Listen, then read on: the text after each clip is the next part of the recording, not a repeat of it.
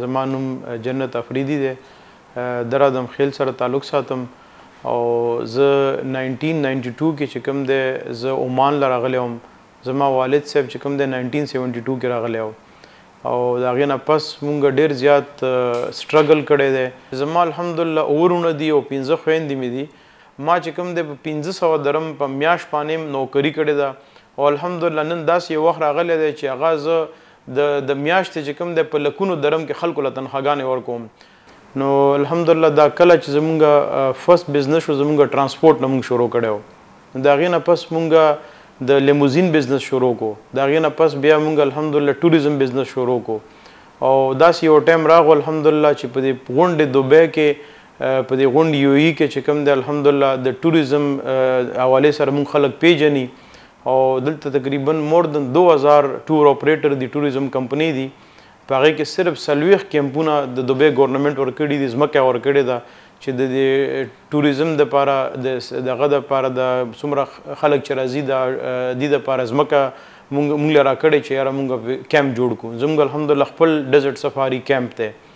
د هغې نه علاوه زمونږ چې کوم دی ډینر کروز دی د هغې لکه اولموست مور دن ایټي کروزونه دي دې کې الحمدلله ټول نه غټ کروز زمونږ دی لکه ورلډ بیګز هاند میډ فلوټینګ رسټورانټ دی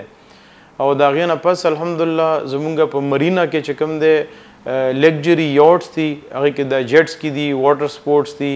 او خلک راځي پوره دنیا نه چې کوم دی ټورست راځي او غیله چې کوم دی مونږ سرویس ورکو دې ځای کې لکه سیډي ټور شو، هوټل سټې شوه، ایر ټیکټ شو نو کمپلیټ پیکج خلکو له موږ ورکوو.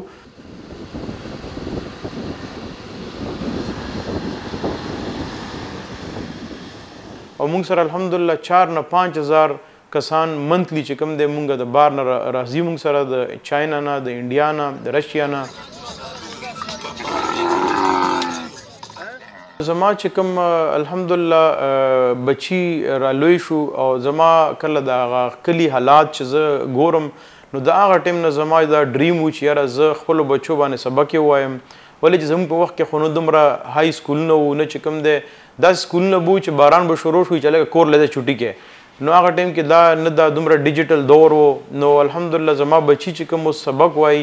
زما سپیشلی چې کوم زما لور ده الحمدالله هغه ډاکټره جوړیږي دا به صرف د غریبو خلکو چې کوم دی موږ به فري ټریټمنټ کوو فري میډیسن به ورکوو سپیشلی زموږ په کلي کې داسې خلک شته دي چې د یو ټایمې روټۍ وي یو ټایمې نه وي زما چې کله لور سبق ویلو کنه نو زما خپل رونه چې کوم دي هغه هم خلاف و دي چې تاسو په جینې باندې سبق ولې وایې نو ما ورته یو خبره وکړه مې چې تاسو کله دا زمونږ زنانه چې کله بیمار شي او کله چې ډاکټر لزی نو هغه ټیم کې ستاسو هغه غیرت کم زیره لاړ شي